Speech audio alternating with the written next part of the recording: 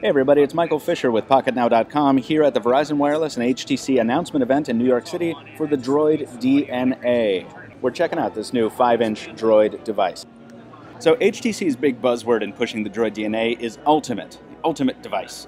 Basically, it's an Americanized Butterfly J that we caught sight of a few weeks back. It's a massive one, and like some earlier Droid products from HTC, its grills and accents are designed to evoke the feel of a muscle car, but it still feels quite slim in the hand. HTC says the screen is what really sets the Droid DNA apart in the industry, and it's really a focus for the entire phone. It's a 5 inch Super LCD 3 display. HTC says it's the first phone in the world capable of full 1080p HD video. Features a 440 ppi density, which is far better than any phone, tablet, or TV on the market, says HTC. They claim it's 50% brighter than the Galaxy S3. It is protected by Gorilla Glass 2, which is curved and which blends into the bezel.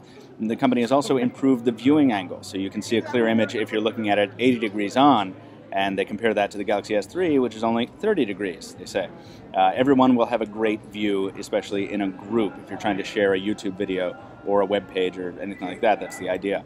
The cameras were also a huge focus at today's presentation. HTC tells us the optics are the same, an 8 megapixel sensor, an f2.0 lens, an image chip as on the One X, but software image handling has been improved. There's support for better face detection, smile capture, HDR, a whole new mode called sightseeing, uh, countdown timer, photo gallery enhancements, album support, and the usual continuous shooting, simultaneous video and photos, and the like. The front-facing camera looks like it's taken some cues from the front-facing camera on the HTC Windows 8X. It also has an f2.0 lens, a 2.1 megapixel sensor, and it's capable of 1080p video. It is an 88 degree ultra wide angle lens, triple the area of other cameras out there on the front side. And of course, there's the Beats audio technology with the twin amplifiers, one for headphones and one for the speaker.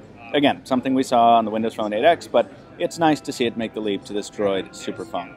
We're going to have a whole lot more on the Droid DNA from Verizon and HTC in the days and weeks ahead. Stay tuned to Pocket Now for that. Follow us at Pocket Now Tweets. Follow me, Michael Fisher, at Captain Two Phones.